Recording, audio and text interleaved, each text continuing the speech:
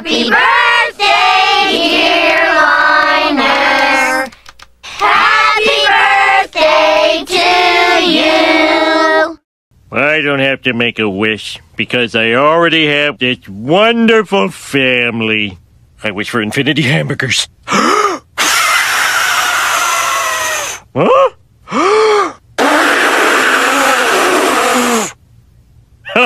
Oh, I get it. These are those trick candles you can't blow out. No, Dad, they're the opposite. Easy blow. What? It sends now.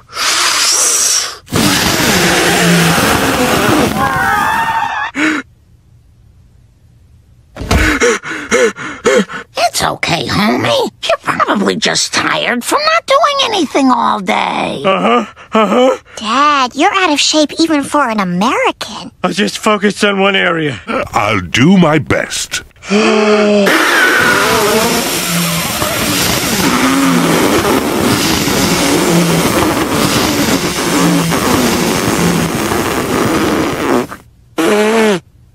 How many did I get?